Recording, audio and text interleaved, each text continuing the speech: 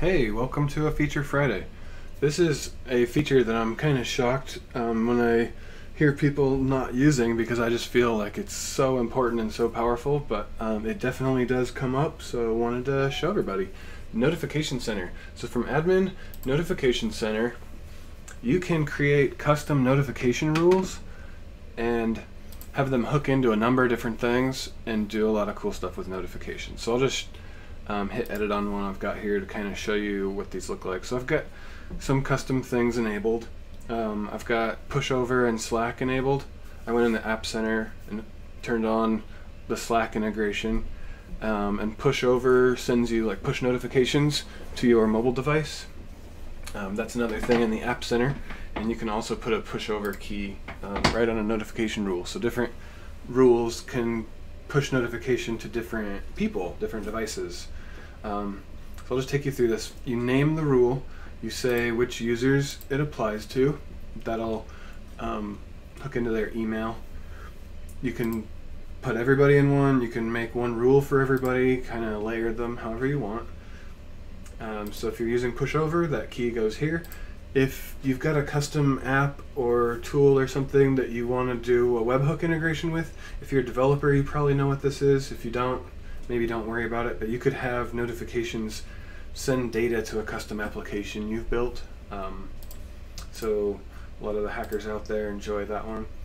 You can add additional emails to notify, um, and then additional SMSs. These do use your SMS credits. We pay for these, or if you're using Clickatell, they'll use your Clickatell. Um, you can have SMS messages for certain things. So then all these different events, you just check how you want them to trigger. Um, a really good one to have is email for lead created, lead replied. Um, this will turn on three-way email. Actually, a few different things you should have email notifications on. Um, lead created, lead replied are good. Um, contract, someone replied. Customer email, someone replied. Uh, estimate, all these email is replied to ones. Um, skip over the ticket ones.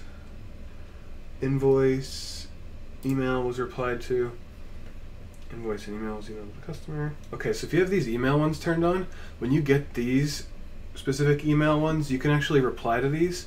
It'll put your email on the so if an estimate is emailed to a customer and they reply and you have this turned on, you'll get an email with their customer's message and you can reply to that email it'll attach it to the estimate and it'll also send your email to the customer. Then they can reply to that.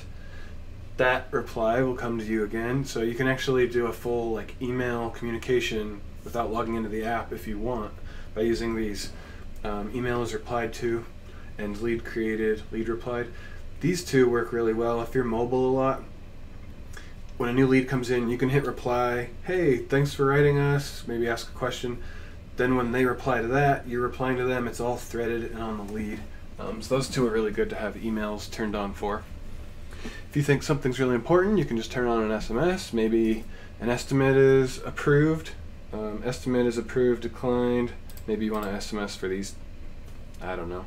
Um, and then Slack is really handy. If you're not using Slack, you should check it out. It's kind of like IRC, but more modern, businessy. They've got really good mobile apps. So um, yeah, team chat. If you turn that on, you can have these automated messages popping into different chat rooms. Um, so you can have a rule per location if you're a big chain, and um, you can have different notifications going to different people based on the location. Um, a lot of stuff you can do in here. If you've got any feedback or improvements you'd like us to make in this section, we're always open to looking into those and making adjustments let us know.